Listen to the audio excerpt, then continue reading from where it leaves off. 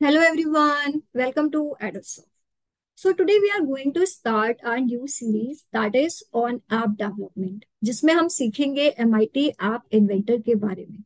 So before going on that direction, I want to tell you this thing कि हमारी already दो series complete हो चुकी हैं.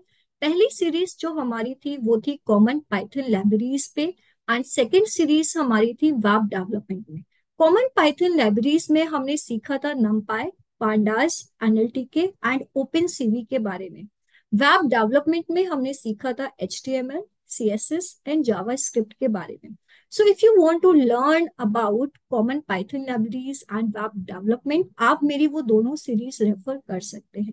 Coming back to our this topic that is app development इसमें हम क्या सीखने वाले हैं? इसमें हम सीखने वाले हैं M I T app inventor के बारे में। So this is our first session और ये हमारा एक इंट्रोडक्टरी सेशन है, जिसमें हम क्या देखेंगे? हम देखेंगे कि M I T app inventor क्या होता है? M I T app inventor की वर्किंग क्या होती है? तो अभी आप अपने स्क्रीन पर जो देख रहे हैं, ये क्या है? ये M I T app inventor का एक होम पेज इसके लिए हमें क्या करना होगा? सबसे पहले आपके पास जो भी आपका सर्च इंजन है अब वहाँ पे जाके आपको simple M I T app inventor type करना है। और इस तरह से आपकी स्क्रीन पर आ रहा होगा M I T app inventor ये M I T app inventor क्या होता है? M I T app inventor is a high level block based visual programming language originally built by Google तो हम इसका क्यों यूज़ करते हैं? हम ऐप डेवलपमेंट के लिए M I T app inventor का यूज़ करते हैं और इसमें किस टाइप की प्रोग्रामिंग होती है? इसमें high level block based programming होती है। एक बार हम इसको देख लेते हैं। हम दोबारा से M I T app inventor पे मैंने क्लिक किया और आपके पास, आपके स्क्रीन पर M I T app inventor का होम पेज अपियर हो रहा है।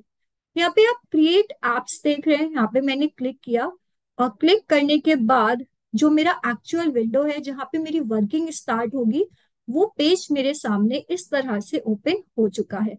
तो ये क्या है? M I T app inventor यहाँ पे आप देख रहे हैं कि ये आपके पास projects connect build settings and help अगर मैं यहाँ प्रोजेक्ट्स पे जाती हूँ तो मेरे पास क्या ऑप्शंस मुझे मिलते हैं? जैसे कि माय प्रोजेक्ट हो गया स्टार्ट न्यू प्रोजेक्ट अगर मुझे कोई भी नया प्रोजेक्ट स्टार्ट करना है तो मैं यहाँ से नया प्रोजेक्ट स्टार्ट कर सकती हूँ। प्रोजेक्ट नेम अगर मैं एक्स वाई जेड रखना चाहती हूँ, उसके बाद मैंने यहाँ से ओके किया और फिर क्या होगा कि एम ऐप इन्वेंटर में मेरा नया प्रोजेक्ट स्टार्ट हो जाएगा। मेरा प्रोजेक्ट का जो नाम है वो इस साइड अपियर हो रहा है एक्स वाई जेड ये क्या ये आपकी स्क्रीन है? ऐप के अंदर आप कितनी स्क्रीन रखना चाहते हैं वो आपके कहाँ पे शो होगी, यहाँ पे शो होगी। एड स्क्रीन से आप स्क्रीन ऐड कर सकते हैं। रिमूव स्क्रीन से आप रिमूव स्क्रीन यानी आप अपनी स्क्रीन को रिमूव कर सकते हैं। इस साइड आपका पैलेट कॉलम है, इधर आपके ऑल कंपोनेंट्स एंड जो भी आपकी कंपोनेंट की प्रॉपर्टीज़ हैं, आप इसमें क्या क्या चेंजेस कर सकते हैं, वो आपके इस साइड शो हो रही हैं।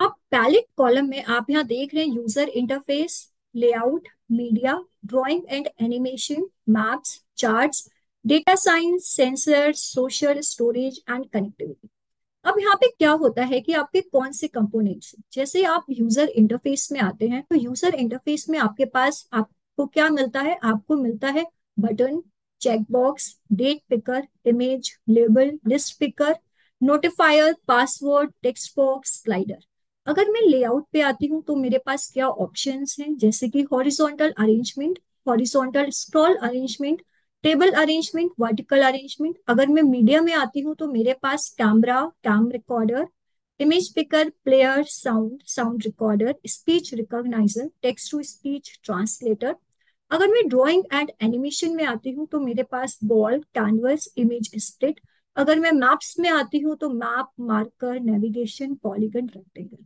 तो ये कुछ हमारे इंपॉर्टेंट कंपोनेंट्स हैं जो कि हमें पैलेट कॉलम के अंदर मिलने वाले हैं, जो कि मैं मेरे ऐप डेवलपमेंट के लिए यूज़ कर सकती हूँ। अब यहाँ पे क्या करना होगा? आप कैसे ये अपने स्क्रीन पर ला सकते हैं? सिंपल आपको ड्रैग एंड ड्रॉप करना होगा। जैसे कि मैं यूज़र इंटरफेस में अगर ये बटन है और अगर मैं बटन प्लेस करना चाहती हूँ तो मैंने क्या किया? ड्रैग और यहाँ पे आके ड्रॉप कर दिया जो भी मेरी स्क्रीन है। आप इस साइड देख रहे हैं, आपके पास ऑल कंपोनेंट है राइट साइड तो यहाँ पे ये बटन वन शो हो रहा है स्क्रीन वन के अंदर, यानी आप अपने ऐप डेवलपमेंट में जितने भी कंपोनेंट यूज़ करने वाले हैं, वो आपके कहाँ पे शो होंगे? ऑल कंपोनेंट्स के अंदर आपको विजिबल हो जाएँगे। अगर मैं चाहूँ तो मैं इसका नाम भी चेंज कर सकती हूँ, जैसे कि बटन वन मैं इसका नाम रखना चाहती हूँ क्लिक मैंने यहाँ से ओके किया और आप देख रहे हैं कि जो आपकी बटन है, उसका नाम चेंज हो चुका है। कमिंग टू दिस साइड यहाँ पे क्या है कि आपकी जो ये बटन है, आप उसकी क्या प्रॉपर्टीज़ रखना चाहते हैं या आप किस प्रॉपर्टीज़ में क्या क्या चेंज करना चाहते हैं तो आप प्रॉपर्टीज़ के थ्रू वो चेंज कर सकते हैं। जैसे कि आप फ़ोन साइज़ चेंज कर सकते हैं फ़ोन टाइप फेस चेंज कर सकते हैं हाइट चेंज कर सकते हैं विथ इमेज चेंज कर सकते हैं। अगर मैं चाहूँ मेरे बटन की शेप को चेंज करना तो क्या मैं चेंज कर सकती हूँ? Yes yes. जैसे कि डिफ़ॉल्ट राउंडेड अगर मैं राउंड पे क्लिक करती हूँ तो आपने देखा कि आपकी जो ये बटन की शेप है, ये क्या है? अब एक राउंड शेप में आ रही है।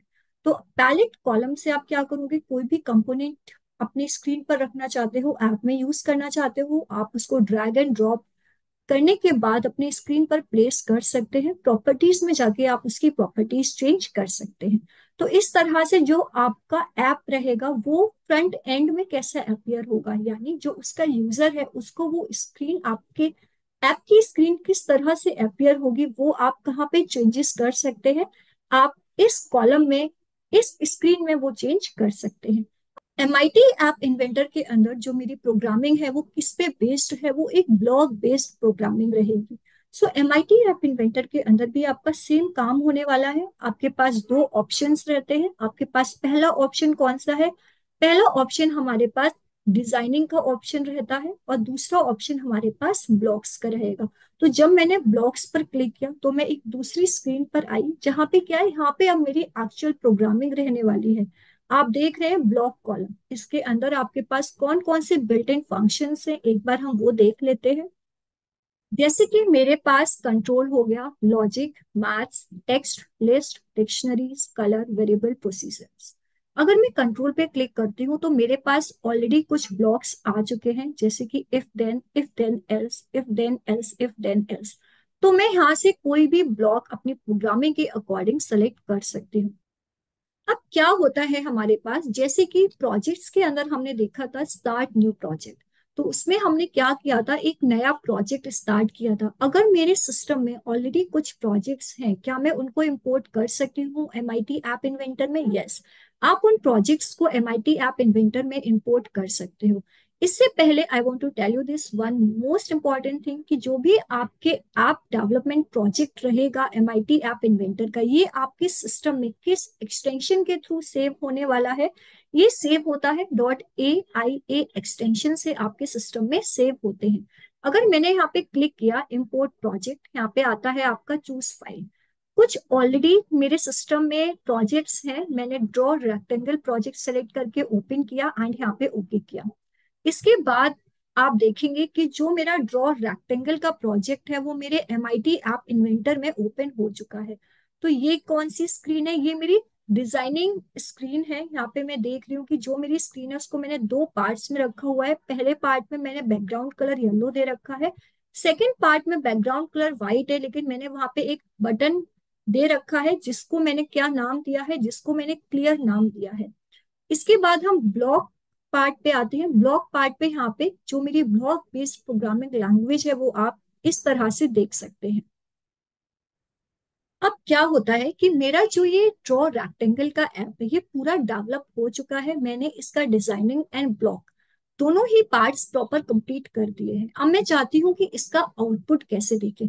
तो क्या मैं इसका आउटपुट देख सकती हूँ? यस yes, मैं इसका आउटपुट देख सकती हूँ। आप इसका आउटपुट अपने मोबाइल फ़ोन में भी देख सकते हैं। जो भी आपके पास स्मार्टफ़ोन है आप उसमें देख सकते हैं।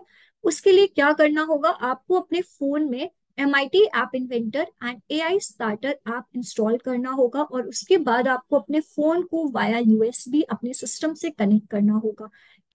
तो क्या मैं इसका आउटपुट अपने लैपटॉप की स्क्रीन पर भी देख सकती हूँ? यस मैं इसका आउटपुट अपने लैपटॉप की स्क्रीन पर भी देख सकती हूँ। तो उसके लिए मुझे क्या करना होगा? मुझे ए आई स्टार्टर एक ऐप होता है, उसको इंस्टॉल करना होगा अपने सिस्टम में। ये जो आपका ऐप है ए आई स्टार्टर मैंने क्या किया? इस पे क्लिक किया और क्लिक करने के बाद एक विंडो अपियर होती है ए आई स्टार्टर की।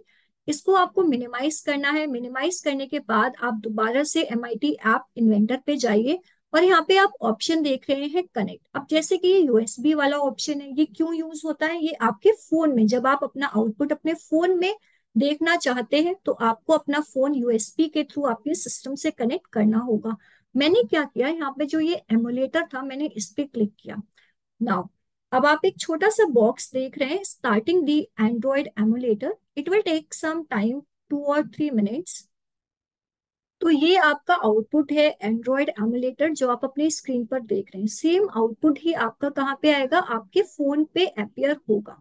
तो यहाँ पे क्या है कि जो मेरा ऐप है वो किस पे बेस्ड है? वो ड्रॉ रेक्टेंगल्स का ऐप है। तो मैं यहाँ पे एक बार रेक्टेंगल्स ड्रॉ करके देख लेती हूँ।